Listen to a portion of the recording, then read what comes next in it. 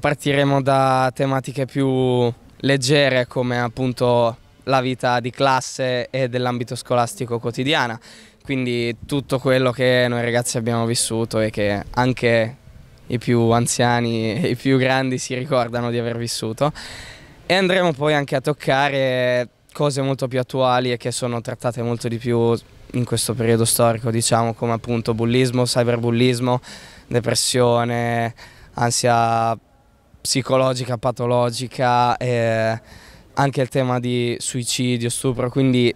temi molto forti a livello sociale e molto delicati, sia da trattare che da mettere in scena specialmente. Da quali musical prende spunto appunto il musical di quest'anno? Allora, eh, ci sono diverse storie che sono due musical principali. Eh, il primo è High School Musical, quindi un classicone Disney che ormai più o meno conoscono tutti. Eh, il secondo musical è Dear Evan Hansen, che è un musical di Broadway di circa 4 anni fa. In più ci sono due serie tv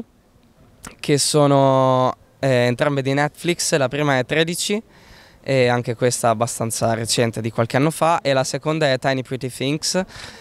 In più c'è tutta la storia dietro dell'ambito extrascolastico per quanto riguarda professori, eh, genitori, quindi non solo ciò che riguarda noi studenti, ma anche tutto ciò che c'è dietro. L'impegno è stato tanto, soprattutto all'inizio non sapevamo bene come comportarci, un po' come l'anno scorso per via del Covid, abbiamo iniziato la parte online per poi finalmente spostarci in presenza in palestra, ci siamo divisi in due gruppi e più o meno da 20 l'uno. Abbiamo iniziato a montare le coreografie, ci siamo divisi le canzoni a metà e la coreografa ha creato appunto la coreografia e poi ce la riportava a noi, ce la insegnava e questo questo lavoro andava da gennaio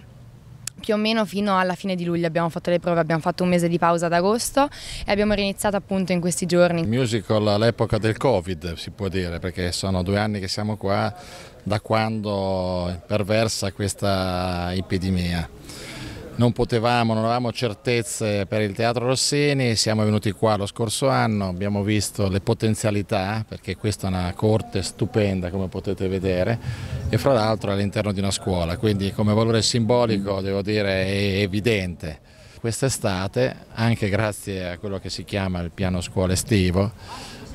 eh, siamo potuti rimanere qua, abbiamo unito questi sforzi in un unico prodotto